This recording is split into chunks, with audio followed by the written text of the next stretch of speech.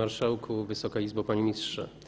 Znowelizowana ustawa o kierujących pojazdami została uchwalona przez Sejm Rzeczypospolitej Polskiej w dniu 5 stycznia 2011 roku w celu dokonania w zakresie swojej regulacji wdrożenia dyrektyw Unii Europejskiej.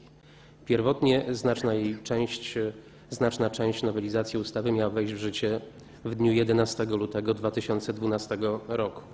Ze względu jednak na niepokoje społeczne związane z brakiem gotowości wojewódzkich ośrodków ruchu drogowego do wdrożenia przepisów oraz brakiem możliwości wcześniejszego przygotowania się i zapoznania z nowymi zasadami przeprowadzania egzaminu przez przyszłych kierowców po dniu 11 lutego 2012 roku termin wejścia w życie przeniesiono ostatecznie na dzień 19 stycznia 2013 roku.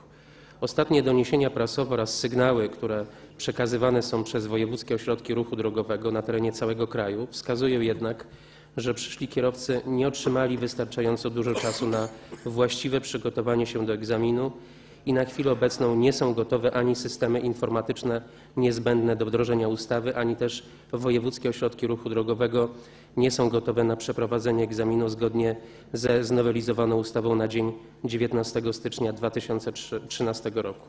Panie Ministrze, czy wojewódzkie ośrodki ruchu drogowego są gotowe na przeprowadzenie nowych egzaminów? Czy przyszli kierowcy dysponują dostateczną informacją na temat zasad przeprowadzenia egzaminu na podstawie nowych przepisów? Jakie kroki zostały podjęte przez Ministerstwo Transportu, Budownictwa i Gospodarki Morskiej w celu zapewnienia przygotowania wojewódzkich ośrodków ruchu drogowego oraz przyszłych kierowców do przeprowadzenia nowego egzaminu?